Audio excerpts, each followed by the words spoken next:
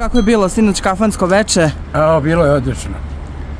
Bilo je odlično, znači bilo je negdje oko 3000 ljudi. Bili smo, baš je bilo dobro, Ana Bekuta, ja, Enes Begović, Zorana Mićanović, Mirko Plašić i tako, bilo je super. A Kako je izgledao susret sa evo koleginicama? Videli smo da su one sad i... One su izašle pre vas. One su izašle pre vas, Zorana i Ana. Dobro, pa kako ne, mi smo super kolege, dobri smo, pogotovo svi troje smo iz Šapsa, tako da ovaj, nema nikakvih problema.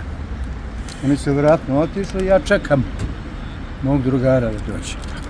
Sa njima se tu super odnosimo. Da, da, da, uvek, uvek. Jel Zorana možda peva neku pesmu od Barbare? Da, pa da vam kažem nešto. Neka ih nek pevaju. Samo moram da kažem da je ovaj Zorana Mićanović veliki potencijal i bit će ona velika zvezda. Lj- Ljubo, jeste naučili Barbari prezime? Ma nemam pojma, veruj mi. To sam ja, ali pa nema ništa protiv nje, stvarno. Ali, šta znam. Jednostavno, nema ni jednu pesmu da je hit. Šta? Mislim, samo toliko je.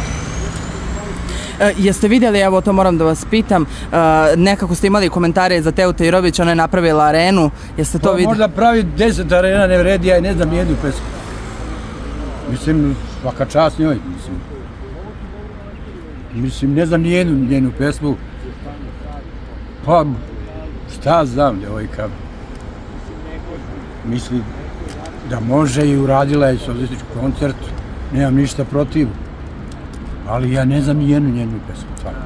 Neki su uzeli čak da je porede sa Milicom Pavlović, sa Aleksandrom Prijović. Ne, a ne, pa kako. Aleksandar Prijović je zvezdetina velika. Ne može. Kaki, ko, ko to, ko je to poređuje? Mislim, stvarno. A se ko je Prijović kao ona je velika zvezda. Ona je jedina koja je napunila u Zagrebu sedam arena. To nijedan pevač nije. E, Ljubo, mnogo se komentariše, evo, vi ste svake nedelje na aerodromu i sad moram da vas pitam, Đole Đogani često kaže da mlađe kolege neće ni da im se jave. Je li ima istine u tome? Pa ima sigurno.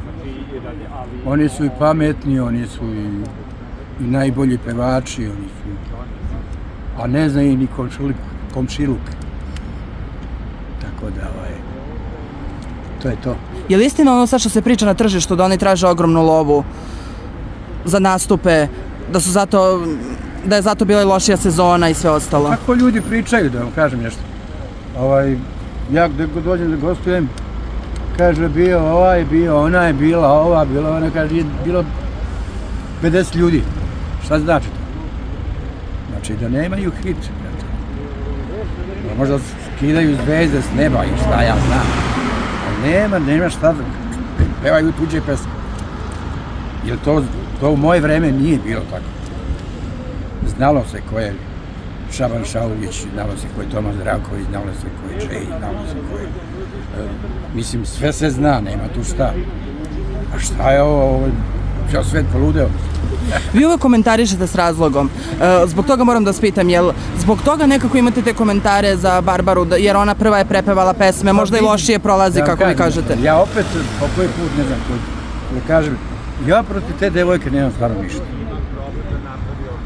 Ali, ne znam, ona nema, ona devojka nema ni jednu svoju pjesmu, nema hit ni jedan, nema, mislim, ja bih, ni ona loš pevač, se razumijemo. Ali mora da ulaže u sebe. U moje vreme se ulagalo i, i mora da voliš taj posao. Da. Ne može da se radi mehanički, veštački, šta god. Jel biste vi dali neku vašu pesmu da prepeva? Pa ja sam je ovaj, nudio sam je ja jednu pesmu, ne znam, ona se čak nije ni, dao sam je ovaj, celje da sluša, ona se nije čak ni javila, ja sam je nazvao normalno, pa, kao i svaki što bi nazvao šta je s pesmom. Tako ne znam ko se javio, tako da, ovaj, ali nebitno, mislim, neka ona, neka ona živa i zdrava i nek peva i dalje. Ljubo, e, neko ste koji je komentarisao, moram da vas pitam i razvode silne koji su se dešavali na estradi. Jeste vidjeli nedavno, evo, jedan glumac Sergej Trifunović i njegova mlađa devojka koju je prijavio za nasilje. Jeste ispratili to? Nisam, stvarno, stvarno nisam. Nisam nasilje, ne prihvatam, ni slučajno. Šta ima? Znači, toliko od mene, znači, to ne prihvatam ni slučajno. Sad, Bože moj, neko neće sa mnom da živi, pa ne mora šta znam. Oni su sedam dana bili u braku. Pa dobro, pa vidi. Ja, ja stvarno ne znam. Stvarno ne znam, ovaj, čuj sedam dana, šta, šta znači sedam dana, ne znam. Ne znam stvarno. Hvala vam Ljubo puno da vas pustimo da odmarate. Hvala, Gabo.